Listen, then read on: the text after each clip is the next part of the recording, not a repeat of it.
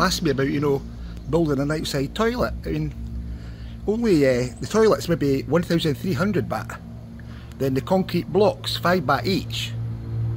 And sand and cement and ceramic, 200 baht a square metre. Then you've got two doors, or a single door, at maybe, just say, 1,400 baht. And then just coat the walls with, with uh, sand and cement. Add a light switch, another maybe 500 baht. But at the same time, you know, you can add a shower. Just add a, a shower because your house is uh, busy or people's playing in the garden and want to get washed. An outside shower's a great idea. But the one building, you know, you can build, if you're going to put two toilets in or one toilet and add a shower, at the same time add, a, add an outside kitchen. So just at the side, I mean the building's only, I don't know, 4 metre, uh, 3.4 by 3.4, something like that. Just say 3.5 by 3.5, we'll just say that. Then in here, add yourself a kitchen.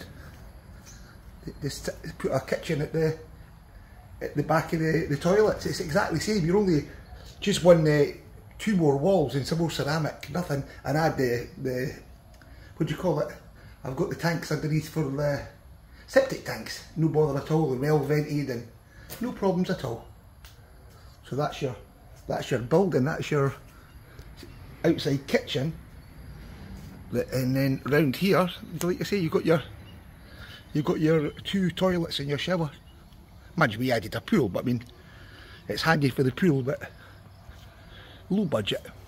But you look at, get a pen and paper, sit down and work out the price of a block. Then work out the price of ceramic, a shower, um, heater. Like, I think, let's be fair, 1,800 baht, Panasonic. And you drain just easy as well, just there, uh, you know, nothing fancy, just cut a groove in it, put a, a pipe in and take the water away. Same outside, a, a wash hand basin, just put a wash hand basin, put a bucket to collect the water, then use the water in the garden. So, people are no practical, they, they, they, they think out the box, oh, they think back home, oh, I've got to buy it, I've got to put extension up for £10,000. Well, in Thailand, you know, 25,000 baht goes a long way if you're doing the job yourself. So, that's just my idea by the way. But the back where the where the um, kitchen is, that could be the pump house and garden store. If you wanted that, I've, I've got a second pump house here. And at the back, oh the pump house, you could have a barbecue area.